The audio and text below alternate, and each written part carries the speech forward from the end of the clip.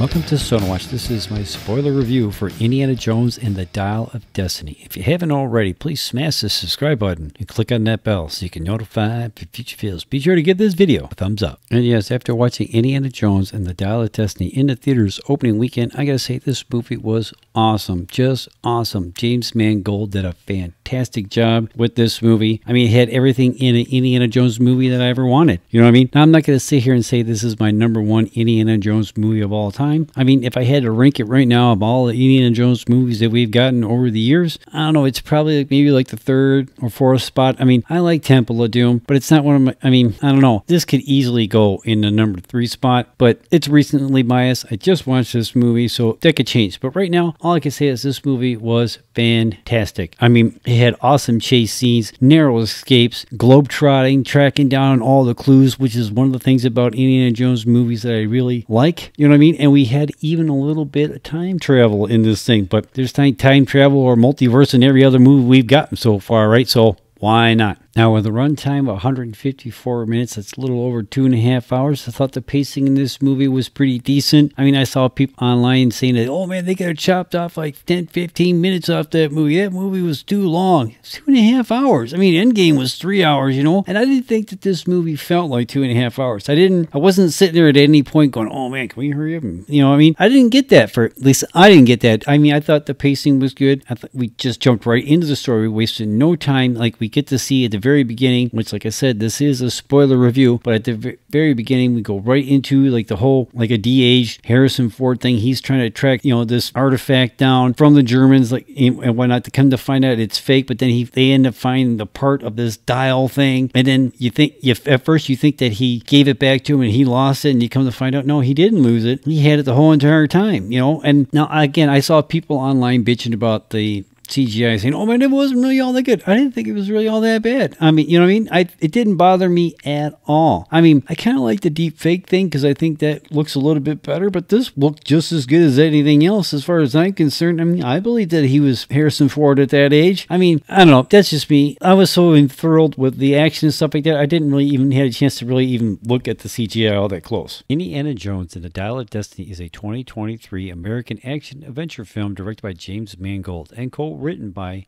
Mangold, Jez Butterworth, John Henry Butterworth, and David Koepp. Produced by Walt Disney Pictures and Lucasfilm, and distributed by Walt Disney Studios Motion Pictures. The film is a sequel to Indiana Jones and the Kingdom of the Crystal Skull from 2008 and serves as the fifth and final installment in the Indiana Jones franchise. Set in 1969, the film follows Indiana Jones and his estranged goddaughter Helen Shaw, trying to locate the device that could change the course of history, before Jurgen Voller, a Nazi turned NASA scientist, can get it for himself and alter the outcome of World War II to correct Adolf Hitler's past mistakes. Dial of Destiny is the first and only film in the series that is neither directed by Steven Spielberg nor written by George Lucas, with both serving as executive producers instead. It is also the only film in the series not to be distributed by Paramount Pictures. Following Walt Disney Studios' acquisition of Lucasfilm, that transfer the film rights for future sequels. Paramount instead retains distribution rights to the first four films and a residual associate credit. Plans for the fifth Indiana Jones film go back to the late 1970s when Lucas and Spielberg negotiated with Paramount for four sequels to Raiders of the Lost Ark in 1981. Lucas began researching potential plot devices for the fifth film in 2008, although the project stalled for years. Koepp was eventually hired to write the fifth film in 2016, with the release date set for 2019. Although this was a delay several times due to rewrites and later the COVID 19 pandemic, in 2018, John Kasdan was hired to replace Koepp, who returned to write in 2019, before eventually leaving the project. Spielberg was to direct, but stepped down in 2020, with Mangold taking his place. Filming began in June of 2021, taking place in various locations, including the United Kingdom, Italy, and Morocco, and wrapped up in February of 2022. With a reported production budget budget of $295 million. It is the most expensive film in the Indiana Jones franchise, as well as one of the most expensive films ever made. Indiana Jones and the Dial of Destiny had its world premiere at the 76th Cannes Film Festival on May 18th of 2023 and was released in the United States on June 30th of 2023. The film has received mixed reviews from the critics, who praised Ford's performance, Mangold's direction, and the action sequences, but criticized the overuse of CGI and consider the film inferior to previous installments. Starring in this movie, Harrison Ford, John Rhys-Davies, Karen Allen, Phoebe Waller-Bridge, Antonio Banderas, Toby Jones, Boyd Holbrook, Ethann Isidore, and Mads Mikkelsen, just to name a few. Coming out of opening weekend, Indiana Jones and the of Destiny is sitting the Rotten Tomato score of 68%, where 307 top critics reporting in. Now, almost three quarters of those top critics is liking this movie. Now, the general consensus of those top critics is this it isn't as thrilling as earlier adventures, but the nostalgic rush of seeing Harrison Ford back in action helps Indiana Jones and the Dial of Destiny find a few bits of cinematic treasure. Now, I guess I kind of agree with that. Again, I like this movie. I mean, it's not my most favorite Indiana Jones movie, but I had a lot of fun with this movie. I, I have no complaints about this movie whatsoever, other than the fact that the people in my theater did not know how to shut the hell up. I mean, the people in front of me, you thought that they were in their living room. I was waiting for them to start whipping out their phones. They were talking through the whole damn thing, man. It's like, just shut the hell up, dude, and watch the movie. I mean, but I knew I was in for a treat because, like, during the previews, like, there was like the Blue Beetle trailer was playing and stuff like that. And George Lopez said something about, you know, Batman being a fascist. And then this guy, oh, screw you, George. I mean, dude, relax. It's just a trailer. It's just a movie, man. They wasn't talking to you. Over on the audience side, it's sitting with a score of 88%, with 2,500 plus fans telling you what they think. Now, majority of the fans are loving this movie, but you really wouldn't know it if you looked at the box office. I mean, it managed to take number one at the box office for the weekend, but it only is bringing in like with an estimate of 60 million dollars for the weekend domestically. Now they're saying it pretty much making like 70 million dollars internationally, which brings it to 132 million dollars worldwide for the opening weekend, which is not all that great because, like I said during the information portion of the video, their budget was 295 million dollars, and you only brought in 132 million dollars your opening weekend. That's not good, especially now the next two weeks they're going to have to go up against some big movies. I mean, next weekend is Tom Cruise's Mission Impossible: Dead Reckoning Part One. That movie looks totally phenomenal. It's getting awesome buzz and stuff like that for like I don't I mean, I don't know, man. That's gonna probably be the number one movie of next week. I don't know how much that movie's gonna make, but I guarantee you that movie's gonna be number one. So it's gonna definitely take Indiana Jones out of number one. You know what I'm saying? And then the week after that, we've got Barbie and Oppenheimer. Now, I'll have to admit,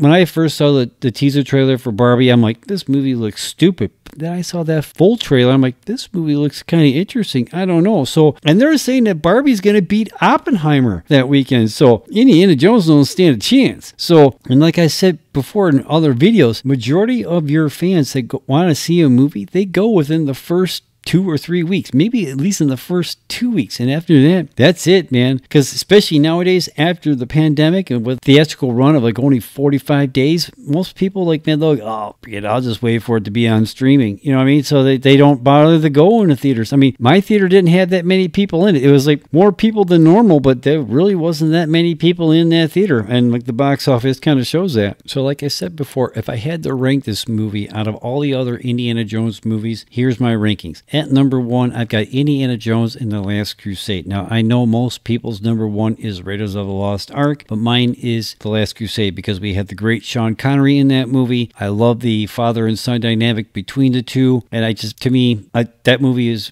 that's my favorite one. I, I I know that's probably an unpopular opinion, but Indiana Jones and the Last Crusade is my number one Indiana Jones movie. Followed by at number two is Indiana Jones and Raiders of the Lost Ark, mainly because that was like the first movie of the series, And then when I was a kid, my cousin was watching us because my parents were out of town on vacation and what have you, and we were to go see that movie, and we had to eat some kind of really weird ass meal in order to go see that movie. You eat this, and then you can go see that movie. So it's like you know, we ate it, and we went, you know, we got to go see that movie, and we had a great time and stuff like that. And I bring it up all the time with her and stuff like that. I'm like, you know, she'll be posting something on Facebook about like making some weird meal and stuff like that. I'm like, what movie do I get to see if I eat that? And she kind of like, you're never gonna let that go. No, I'm not. Mm-mm. Nope, I'm not. So again, that's one of my fun childhood memories for Raiders of the Lost Ark, but other than that, it's at number two in my rankings. Uh, at number three, as of right now, it could be Temple of Doom, it could be The Dial of Destiny. I mean, I don't know. I, it's kind of going back and forth with me as of right now because I like Temple of Doom because, you know, short round and everything, but I know, this movie, I don't know. Once I see this movie again, I'll have to get back to you on that one. But right now, it kind of goes back and forth between Temple of Doom and Dial of Destiny at number three and number four. And of course, at number five, we've got Indiana Jones and the Crystal Skull. Now, I'll be totally honest with you. I've only watched that movie once, and I didn't really care for it, so I haven't really gone back and rewatched it or anything. And it kind of almost seems like I maybe I need to just like to go back and rewatch it. Maybe it wasn't as bad as I thought it was because I talked to a couple other people. Oh man, I like that movie. I'm like, I don't know, man. He jumped in the refrigerator. I mean, I definitely guess I need to go rewatch that movie. You know what I'm saying? And as much as I don't really care for that movie, I was kind of digging it that they actually acknowledged that movie in this movie. I mean, granted, they did kill Shia LaBeouf's character off in this movie. He went off to the Vietnam War and he didn't come back home, which is kind of a bummer because that happened a lot and what have you. But I kind of wish I would have saw that dynamic between Indiana Jones and him before he went. You know what I mean? I mean, they kind of established that that he did it just to piss him off and everything. But I guess I kind of wish we could have seen some of that beforehand. You know what I mean? Maybe it's just me, but that's like the thing about this movie because we see that he's about to retire from the school that he teaches is at. He's not not with his wife right now because they lost their son in the war, so she's like stricken with grief and stuff like that, and it kind of was like ruining their marriage, and it was, wasn't really. I don't know. That that kind of got me like right here. It's,